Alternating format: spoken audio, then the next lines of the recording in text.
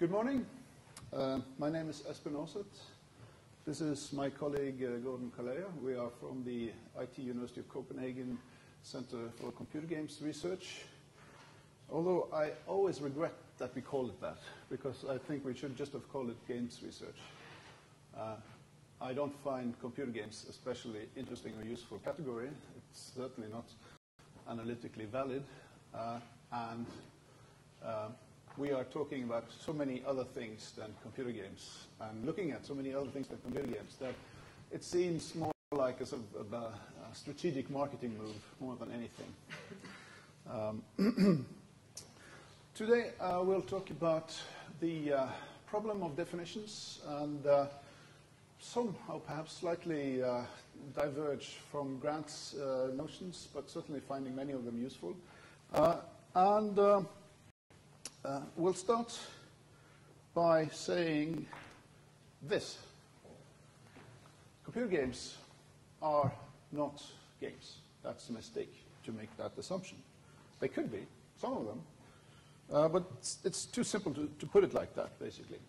Computer games are first and foremost, it seems, software.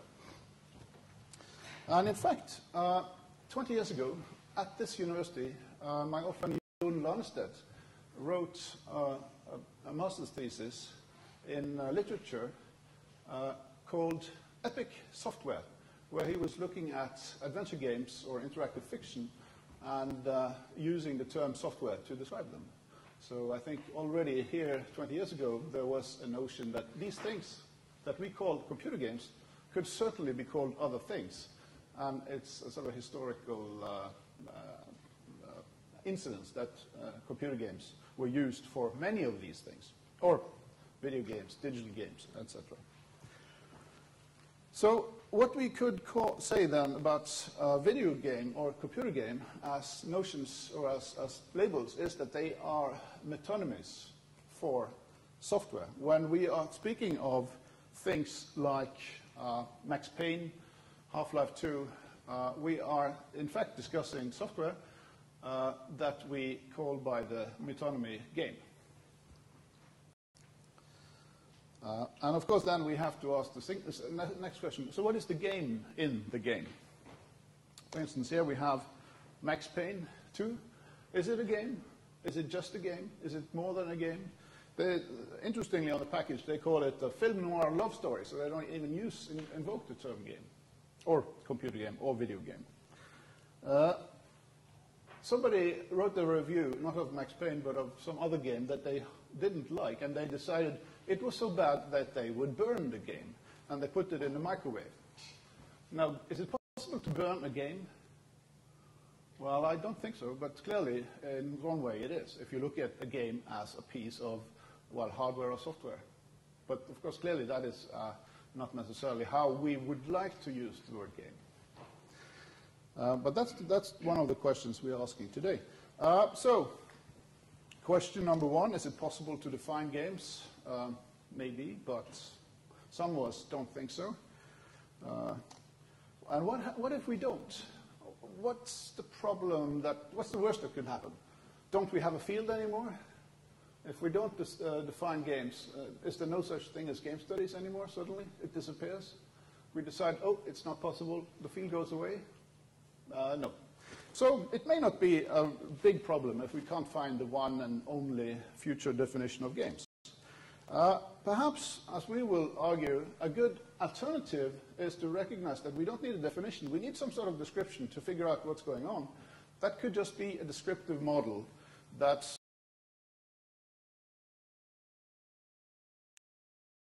for. It might be over descriptive, overproductive, but that may not be a problem, because maybe the term is over, over uh, productive as well. Uh, and with a good descriptive model, we hope to address uh, the crucial multidisciplinary problems, needs, and approaches that we see in this field. There are so many different approaches to games that it's hard to list every one uh, on a piece of paper. Any academic discipline can be, uh, can be applied to games, so there are basically no limits imagine all those problems that uh, gives rise to. Uh, as you know, interdisciplinary is really hard, even if you only have two disciplines. Imagine 15 disciplines. Uh, well, it's, it's rather an issue. So we need somehow to conceptualize game, but having an exclusive, exclusive definition is probably too harsh and will probably lead to more problems than it solves, as I think we've already seen. Uh, so um, also, I guess at this university, but maybe not, uh, Arne Næss, the Norwegian famous philosopher, uh, coined uh, the term verb, uh, merely verbal disagreement. Uh, that is, when two people are using the same word with different meanings and they don't realize that they have different meanings, then there may or may not be a real disagreement, but ma many times it's merely a verbal disagreement. So if they only realized that they're using the term differently, there wouldn't have been a disagreement in the first place. And I think that's uh, probably the case with many of the disputes that we have seen in the last 10 years in, in game studies. So, can games be defined? Uh, well, I think uh, I, would, I would slightly disagree with Grant in that we have tried, or people have tried to define uh, games for a long time, and also certainly computer games for more than 27 years or so and not really succeeded. So there is a problem here, and there is still no clear definition of games, despite many uh, excellent attempts. So maybe uh, we can't have one, or maybe we should try to uh, imagine a future where there will not be one. Uh, Arne as I said, uh, would, would uh, perhaps say that this is yet another case of this. so we could argue, why, why not just, just let's call them games to hell with definitions. Uh, well, that the problem is, of course, we are then not talking about the same thing, and, or that could be the case. So we, have we, we need to go beyond just calling them games, whatever they are.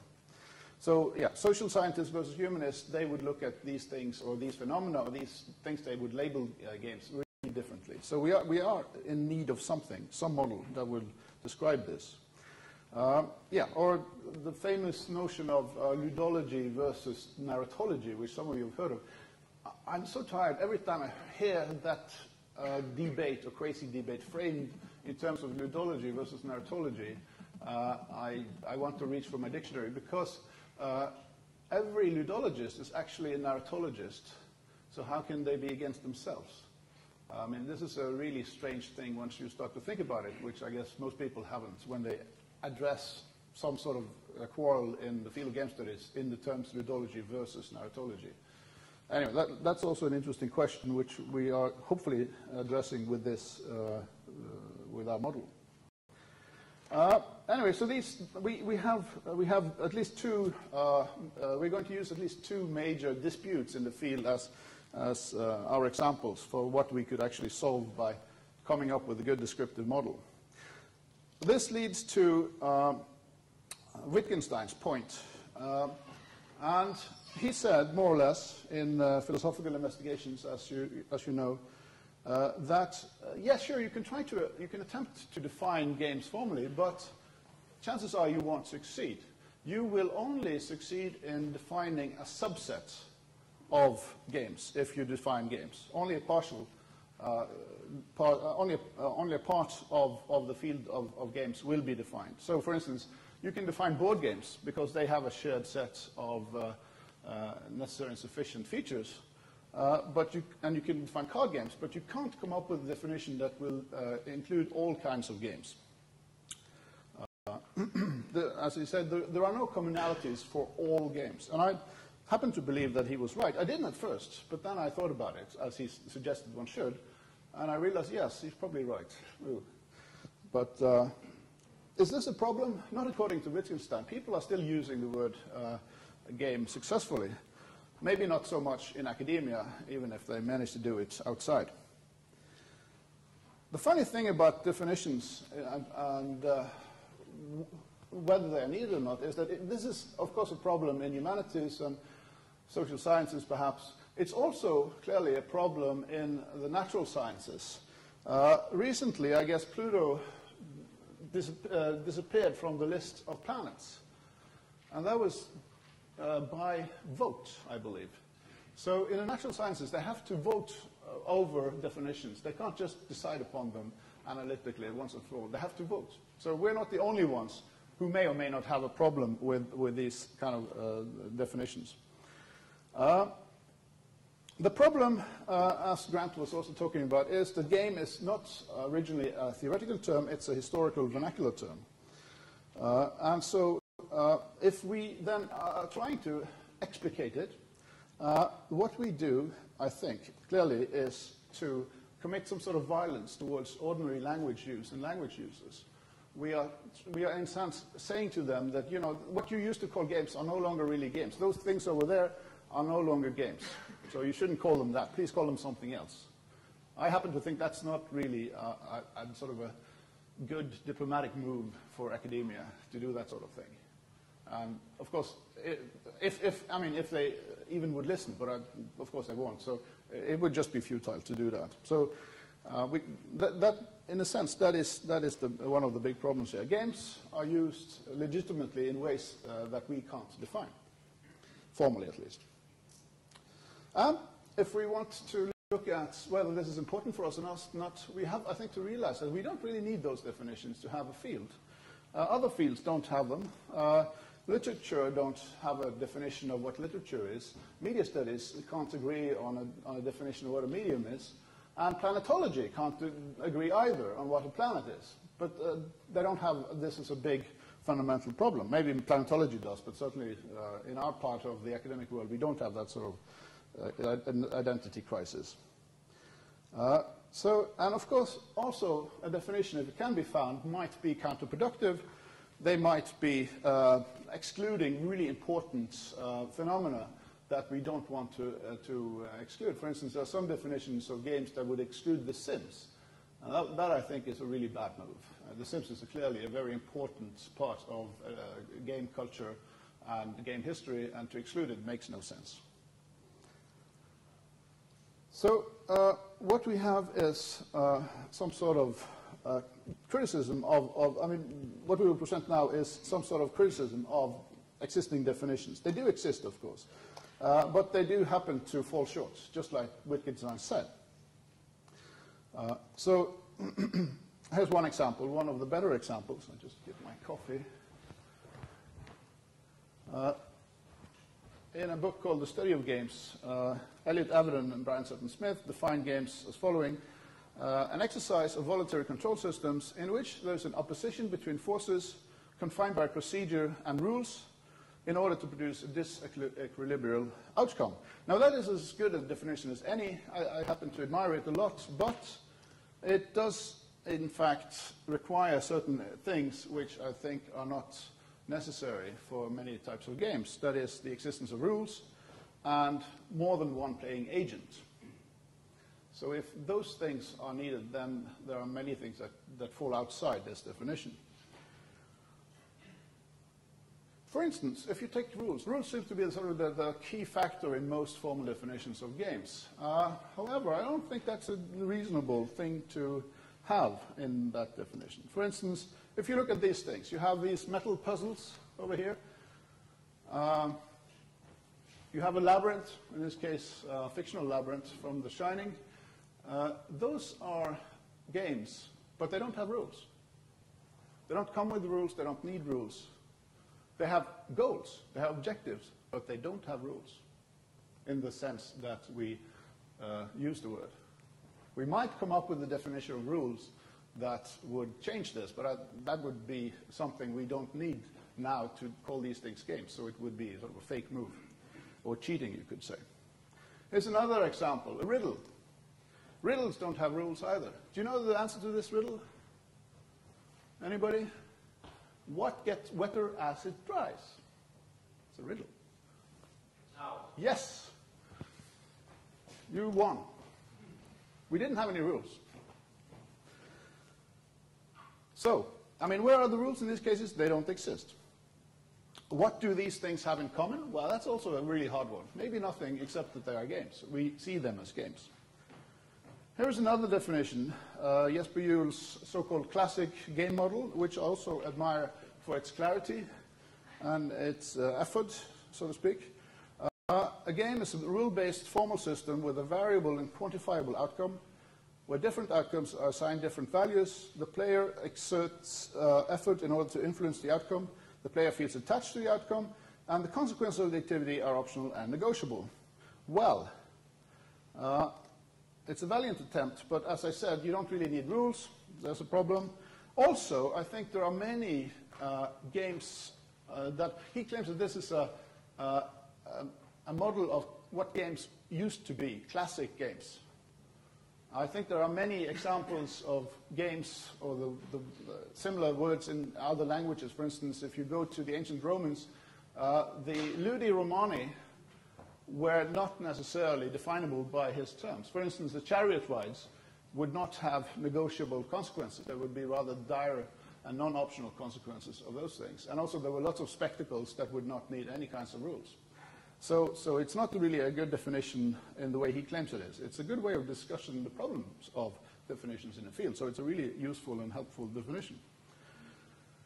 And also you have, yeah, so you have this, this idea, I think, in recent game studies that there is uh, there's some sort of distinction, clear distinction uh, in language between the sort of soft games and the hard games, uh, but that doesn't really apply to words like ludus. It was used both for the sort of rule-based strict uh, things and also other kinds of games.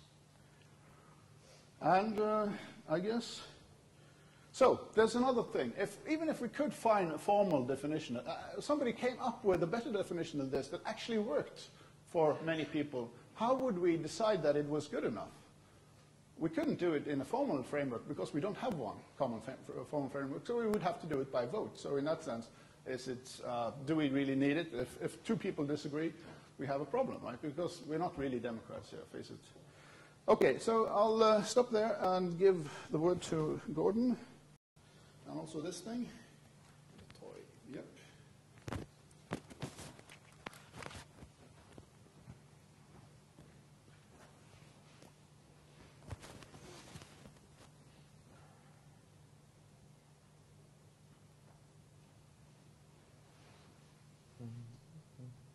One second. Stupid last thing. Yeah, I know. I'm trying to move it. Doesn't want to move.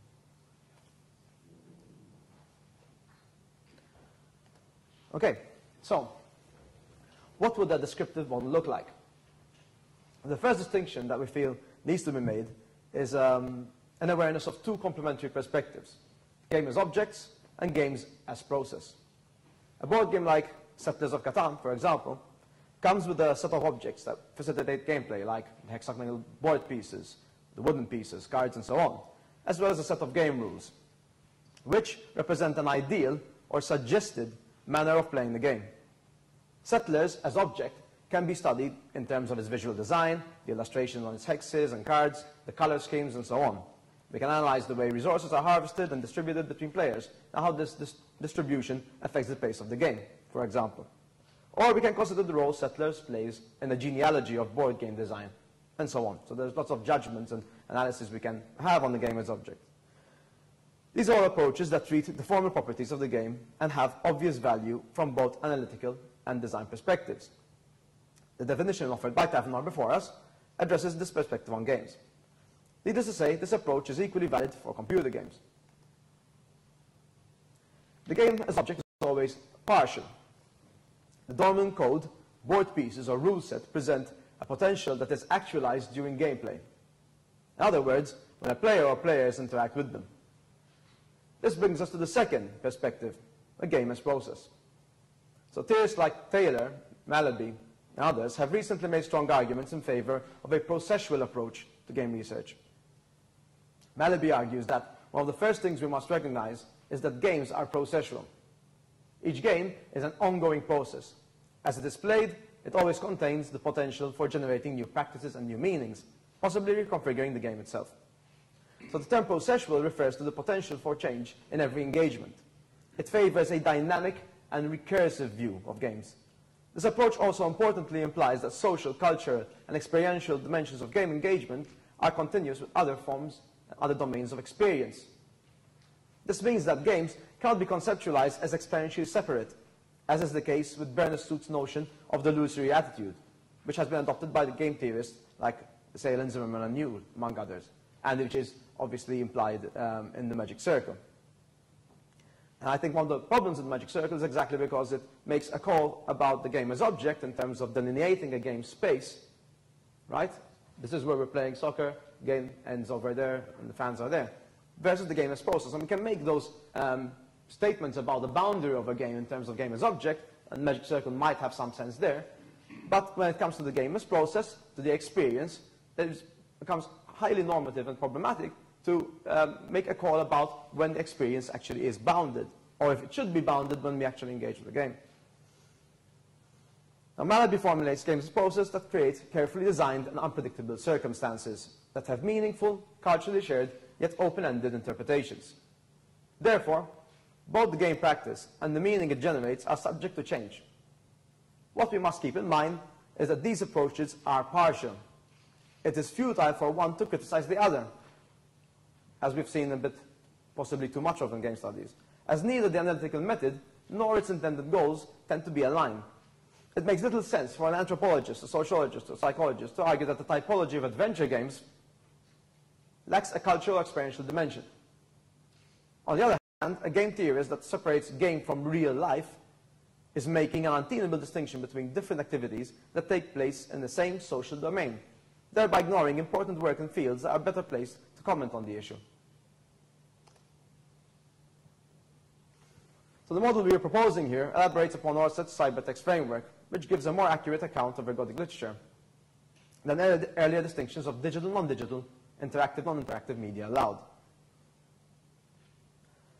The non-trivial effort required from the user is an important cornerstone of a theoretical model of games. Aarseth also places importance on the role of code as a component of the science perceived by the user, as well as the specificity of the material medium.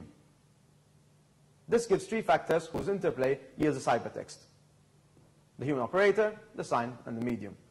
These form a matrix where each of the vertices affects and is affected by the other two. The triadic matrix that Aarseth proposes for cybertext will here be elaborated into a descriptive model of games. Made up of these elements. The material medium, the sign, the structure, and the player. So I'll go um, through these four and make some notes about them.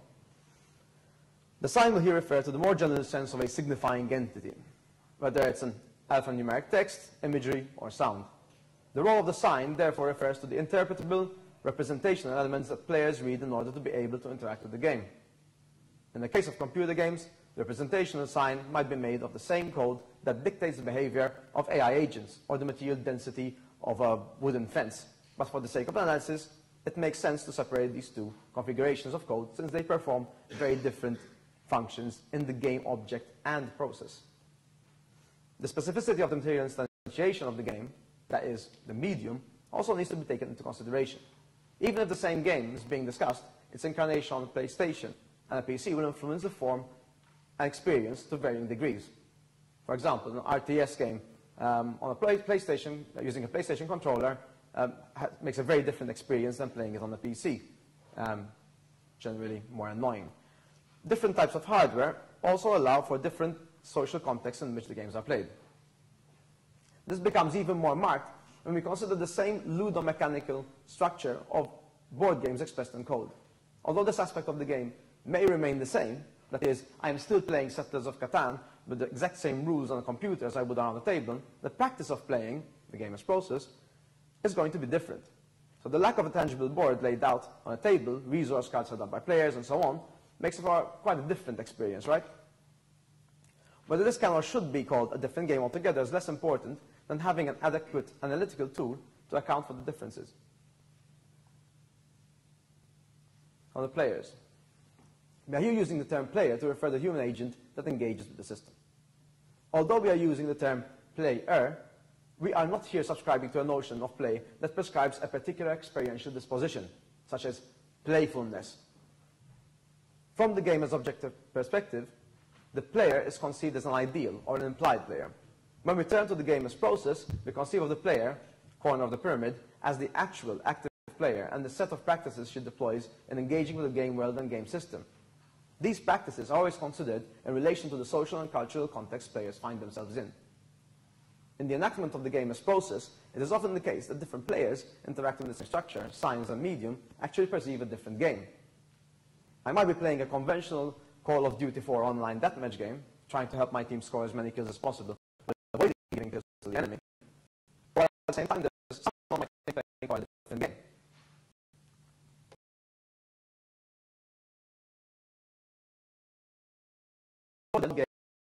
Game of getting clearly contradicting what I'm trying to do. Now here I am on TeamSpeak with my, my four buddies trying to outflank the other team, and there's this happy bunny jumping off this building and giving away um, you know, kills to the enemy. And clearly our two games are conflicting.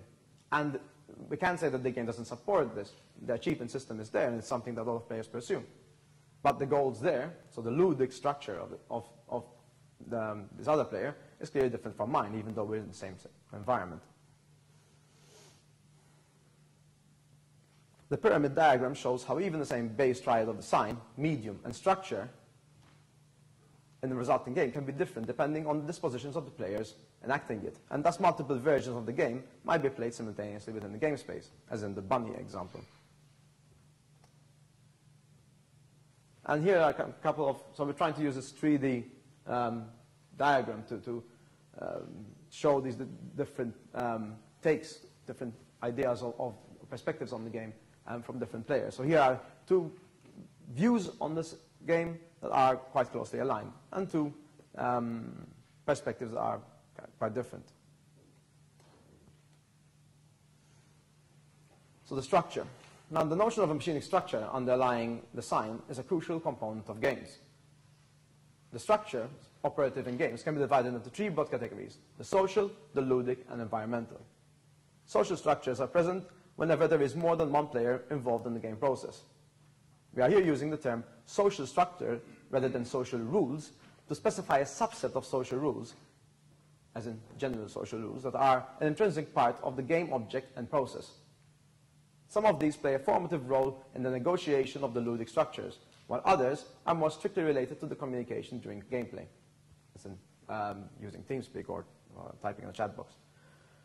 So a game of Counter-Strike Source would be quite different uh, if this communication layer is taken away. It would be different both in terms of the ability for players to collaborate during the course of the game, but also for the general sense of community facilitated by such structures of communication.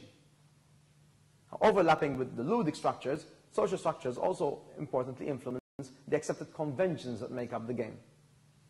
At times, this can create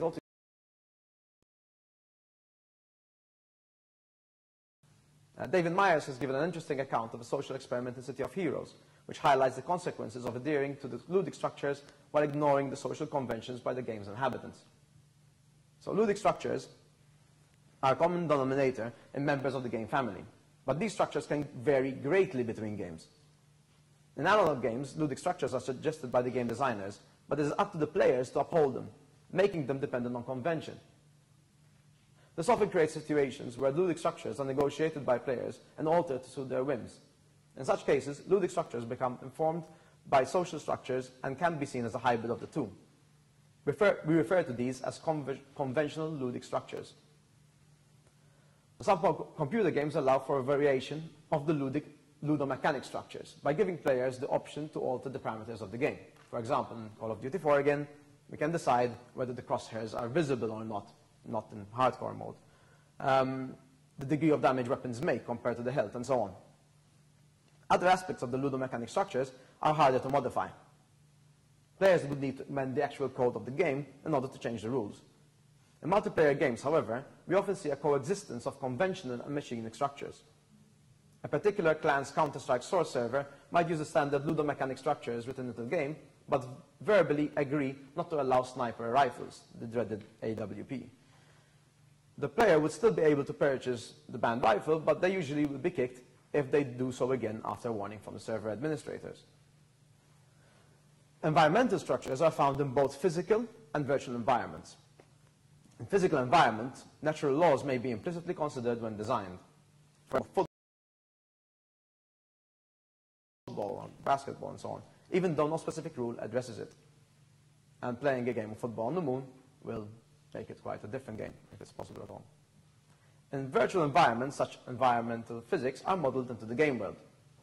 The virtual here refers not only to the computer-generated, but to any constructed environment or world that has physical properties modeled into it.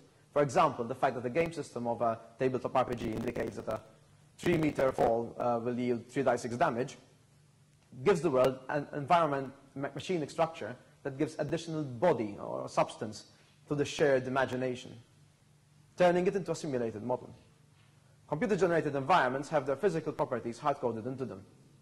For example, bricks in Call of Duty 4 have a certain density which resists a 9mm pistol round, um, but would be penetrated by a 556 round of an M4A1, for example. Similarly, the player avatars can run, walk, crawl, and at different speeds, all of which influence the ludic structures of the game and are crucial in creating balanced and enjoyable experiences. But again, the difference between a computer-generated environment and an analog one is that in the former, the enviro-machine structures are upheld by the computer, while in the latter, they are maintained by the players in accordance with a prescribed and often modified system. So, the model outlined above can be used to describe various family resemblances, to use uh, Wittgenstein's term, of members in the game family. It accounts for the analog and computer-based games and is aimed to be used as a heuristic tool to analyze games and identify the important differences between different members of this complex extended family. The application of the model should make it clearer that having a conversation about an analytical or a theoretical topic that encom encompasses different members can often yield vague and possible contra contradicting conclusions. Myst has a great narrative, Tetris doesn't, and so on. You're familiar with that discussion. The complexity and resulting theoretical confusion brought about by the advent of computer gaming is only growing. The most significant source of this complexity arises from the fact that a considerable proportion of what, what are called games nowadays are in fact virtual environments which contain a game or multiple games within them, or no games at all. If we had to apply the model to a game like Grand Theft Auto 4, for example, we would end up with a number of different game pyramids, these, these little things in there, um, embedded in the same environment, rather than one game pyramid that would equally adequately define them all. The material, medium, science, social, and environmental structures that form the virtual environment remain the same for all embedded games, but the ludic structures and player perspectives could change in each case.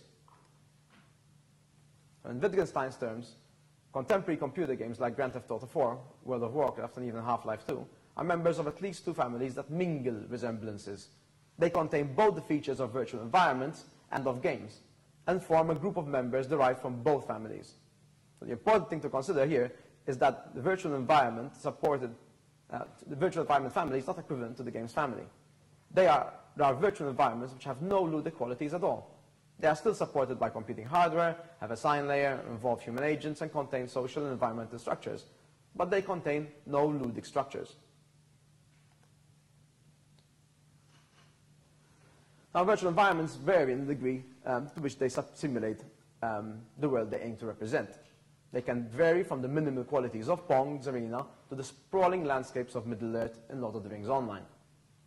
Certain combinations of structure, sign, and material medium are, are designed to restrict the player activity, while other configurations are designed to generate varieties of player expression. There are virtual environments which align fully with the game that takes place within them, making it redundant to separate between the two. In Tetris, the affordances for player activity, for example, are limited to rotating the pieces, moving them left, right, down, and that's about it. The variety of activity that players can undertake is kind of limited. So in GTA 4, for example, um, players have a wider latitude of expression. So the flattened pyramid here reflects the restricted abilities of Tetris, with the higher one representing um, the very varied activity allowed by GTA 4. One tendency in mainstream game titles is towards more complex extended game environments. And by extended, we are here referring to virtual game environments which are creating, which are catering to activities other than those afforded by the ludic structures. In these cases, players conceive of certain computer screen images as, repre as representing an extended virtual environment, because they can engage meaningfully with the entities that inhabit it, which can be human or AI controlled, and or the objects in the perceptual space delineated by the computer, as they would in ordinary experience. They can run through the door in the west, wall, or run through the passage in the east. They can do a handbrake turn uh, to lose the car tailing them, or speed ahead along the highway. The responsibility for action is placed on the player, within the constraints placed upon the game by the environment and the designers.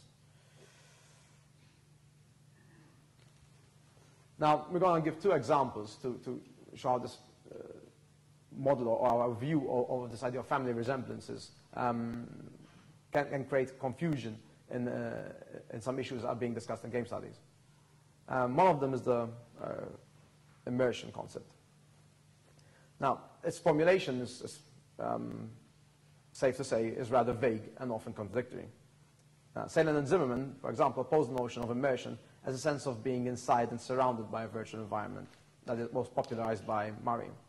They argue that such an experience is not really an important aspect of game engagement, referring to its erroneous focus on the sense of inhabiting the game environment as the immersive fallacy. Now, this is the idea that the pleasure of a media, media experience lies in its ability to essentially transport the participant into an illusory, simulated reality. According to the immersive fallacy, this reality is so complete that ideally the frame falls away so that the player truly believes that he or she is part of the imaginary world. So for Salen and Zimmerman, the drive towards what they call total immersion is not the most important aspect of game enjoyment and engagement. They support their argument by citing um, Gorfinkel's view on immersion. And she says that the confusion in this conversation has emerged because representation strategies are conflated with the effect of immersion. Immersion itself is not tied to replication of mimesis or reality. For example, one can get immersed in Tetris, Therefore, immersion into gameplay seems at least as important as immersion in a game's representational space. An example of games in which immersion is not tied to a sensory replication of reality. They rightly highlight the problems associated with relating immersion to representation and mimesis, and the importance of not basing design principles solely on a reproduction of more realistic representations in digital form. If designers remain caught up in a desire for the technology of the whole, like as say and Zimmerman say, the possibility for the maturity of the medium might be severely, severely challenged. But this point is made at the cost of specificity of the meaning of immersion that was employed to signify within the intersection of virtual environment and game families. Now, these hybrids, that we have called virtual game environments to try and uh, account for that center overlapping of these two families, thrive on giving the player a sense of habitation within their domains.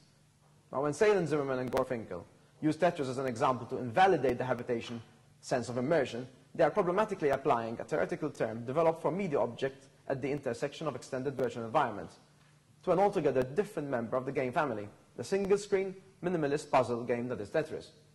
By swapping the virtual environment-specific use of the concept of immersion with its more general sense of absorption and inactivity, Salen, Zimmerman, and Gorfinkel ignored the varying features of the members of the game family. The habitation or transportation sense of immersion is not invalidated by its application to a subset of the family it was never intended to be applied to. On the contrary, it reminds us that the different features of members in the family require analysis based on their specific qualities, not those of their distant cousins. In this case, the central varying features are the spatial metaphor used in both and the way players navigate the relevant spaces. Immersion in the virtual environment habitation sense is directly related to the spatial affordances of the virtual environment, as Ryan has argued.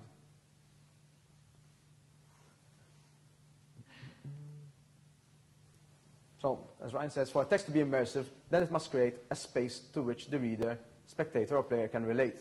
And it must, be must populate the space with individuated objects. For immersion to take place, the text must offer an expanse to be immersed within, and this expanse, in a blatantly mixed metaphor, is not a notion but a textual world. The confusion of the concept and the arguments leveled against it are therefore not related to the experience itself, but to a lack of consideration for the different features of the members that make up the families of games and virtual environments. If we analyze, for example, GTA 4, again, and Tetris using the model represented here, it becomes clear that the virtual environment plotted by the former contains multiple games within it, as I said earlier visually expressed as a pyramid representing the virtual environment of Liberty City, with a number of small pyramids representing embedded subgames, the darts, bowling, and so on. Tetris, on the other hand, is represented by one pyramid since its virtual environment is aligned perfectly with the game that it supports.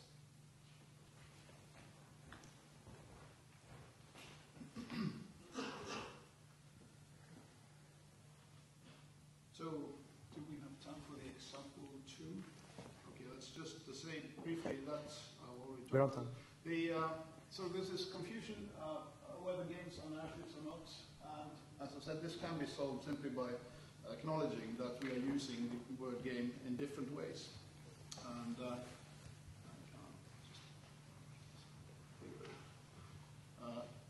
because uh, computer games are certainly not uh, only games, they're also something quite different.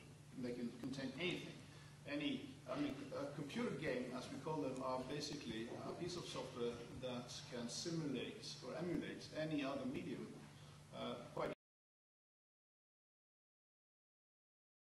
music, text, still image, video, anything that you can think of.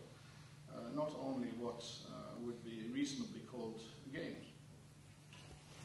Uh, and so this metonymical problem uh, that the, the, the word game can point to the whole package of a, of a software, uh, piece of software, or just the game structure within it, uh, becomes problematic uh, when we see this debate uh, between people who look at games as some sort of stories and people who say that stories are simply, or that the computer games are simply not narrative. so this is a merely verbal disagreement, as Arne Næss would have said. Uh, the narrativists use games metonymically to refer to everything, uh, and the ludologists are referring only to the ludic structure within the software package. Uh, anyway, to conclude, I think we've more or less reached our end. Uh, I don't think, or we don't think, uh, that uh, one definition to rule them all is either needed nor necessary, or even uh, Uh, possible. Uh, it could only lead to or, or be a barrier of, of uh, productive interdisciplinary discussion because uh, every uh, subdiscipline within game studies would probably need their own definition. and we think that if we don't have such an exclusionary definition, we're probably much more likely to have a lively and evolving field. So, uh, and as I said, computer games, what we call computer games, are basically uh, complex software packages, and they can contain a number of things beside games.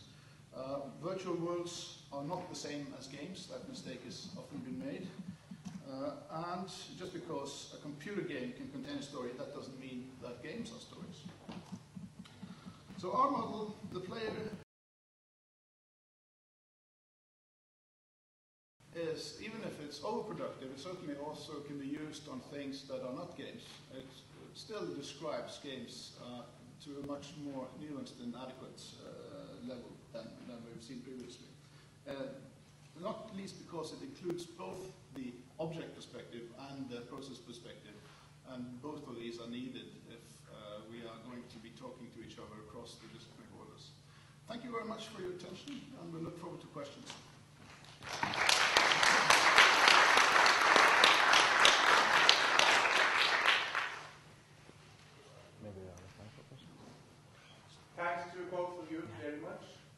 now we'll have a few minutes for questions and uh, objections.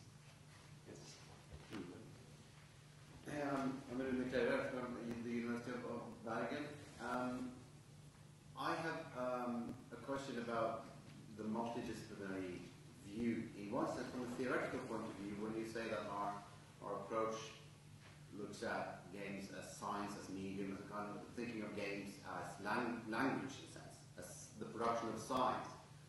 Uh, you could say that that is not particularly multidisciplinary, but it's, it's very, very specific, at, at, at least theoretically, uh, using these word like medium. So what I would ask, to ask you to clarify your, your positioning in relation to that is, I would like to ask about for, when I'm moving around, for example, in IKEA, which is a structure, it, it, it's not a it's not ludicrously structured in the sort of game system sense, but it, it is a fairly well thought out structure with shortcuts, uh, and it has a purpose and a goal and, and, and, all those things. So if you compare my navigating and my, my meaning production while moving through IKEA, if you compare that with the type of games that are also virtual environments that you talked about, which is a particular class of games, would you say then that in, in the IKEA example, we, if we use, if, if we analyze this trip through these words as sign, medium, of semiotic analysis of the IKEA trip, would that be more strange and unorthodox than doing the same with a, a virtual world type computer game? Are there any significant differences between those two experiences that would validate using sign and language and medium and semiotic analysis about one of them, about the game experience, but not about, uh, not applied to IKEA, the IKEA, the, my tour through IKEA. No, I don't think so. Uh, I mean, clearly IKEA is a structured uh, uh, system that is uh, intended to produce certain experiences, uh, just like this uh, situation here, for instance, or this building. So, it, So- it, the semiotic approach is not inherently more valuable or valid applied to a virtual world computer game than it would be applied to a trip to IKEA. Probably not. I mean, why, why wouldn't you, uh, if you want to, analyze IKEA with semiotics? Yeah, people, people do that. Yes. Yeah. So what's... No, I, I was just, that's very clarifying. Sorry? I think, yeah, thanks, that's, And that's, the fact that we- we're saying that it's, it's ultimately a player's perspective that um, makes a game a game. I mean, if we went to IKEA and we um, were going to play a collect the you know, little red tables, decided to play the little red tables game, IKEA provides the structure, sign, and, and, material medium for that um, gameless process to, to take place, right? And ultimately, it's our perspective on it, our agreement. And that's why in structure we have this, this conventional social structure that, that accounts for that. So what, what have we agreed upon to be the game? Um, so the, the structure is not merely, remember there's three parts to it, right? That, um, that accounts for it. So, so IKEA would merely be this, more or less the equivalent of uh, a virtual world, except that it's not virtual. It's confined, but it's physical. And of course, the, it's And no ludic structure. it's not a matter only of having signs, of having material medium and so on, but the kinds of signs and models meant to sort of, those are placeholders for the kinds of signs um, and so on that, that, that get there. I'll just bring it up. And now, Paddy, hi. Yes, um, two questions actually. Uh, first, why do you call your model descriptive? I mean, what's the force of calling it a descriptive model?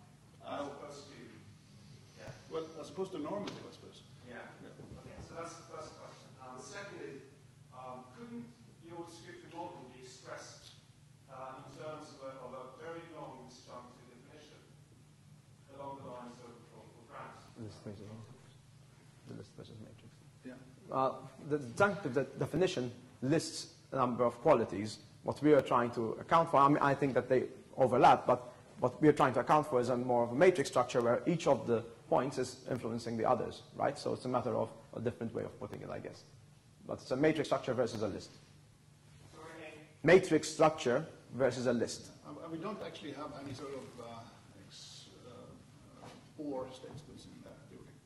I mean, these are the things that we see making up the elements uh, that make up games. They also happen to make up other phenomena that are not necessarily called games.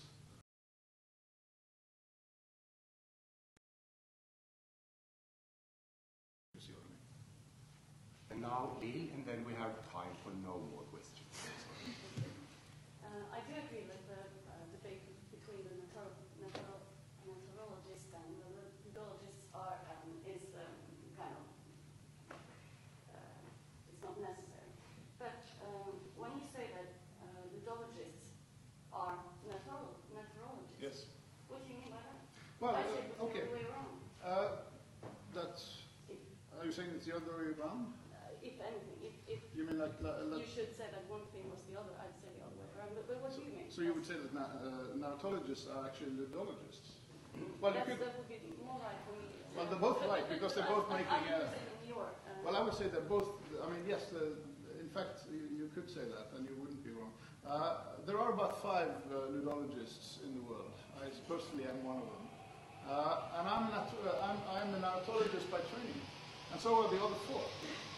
So everybody who's been pointed to uh, yeah, okay. okay, yeah, I'm, I'm just leaving on a jet plane. I'm just taking off. I got to catch the plane. Uh, so every, uh, You don't want to open it, do you? A can of worms, we shouldn't. No, this is, this is your fault, opening that can of worms. Uh, so, the, every, every ludologist uh, uh, that is being pointed at, framed as a ludologist, is actually a narratologist by training. They are using narrative theory uh, to discuss games. I've done that, Eskelinen has done that, uh, Jesper did that, uh, Gonzalo Frasca did that. Then you that every festival um, or every um, like when you write about something, you become an authority. That's all. No, no, no, no, no. But uh, I'm just saying that this is this is crazy notion uh, made by some not so smart people. Uh, I'm not going to use the word stupid since Obama fairly shouldn't have done that either. Uh, not so smart people uh, uh, have made a strange, a false dichotomy between narratologists, people who, who study story structure, and ludologists, people who are interested in, in looking specifically at games. Uh, but the funny thing is, those people who started saying we should look specifically at games, they were actually using narratological tools to do that. So there is no, there's, there's a false, uh, uh, uh, falsely constructed conflict there. What in, in, instead, what you have is, is a conflict between the normative and the, and the uh, descriptive. So some people say uh, you shouldn't combine games and stories because that makes a really bad product. Uh, other people are saying you shouldn't, uh, uh, you shouldn't look at games as just games as stories because that's a, that's a flawed perspective. Those are two different positions that are conflated by people who don't understand what narratology means. It used to mean people who are studying stories, and now it seems to mean somebody who says that games are stories. That's sort of non yeah. So I hope that clarifies something. Okay. So I guess that's uh, the end of the. As you can hear, the auditorium itself tells us to leave it. It's lunchtime, and unfortunately, we only have less than 50 minutes for lunch. And we will start at 12.30 exactly.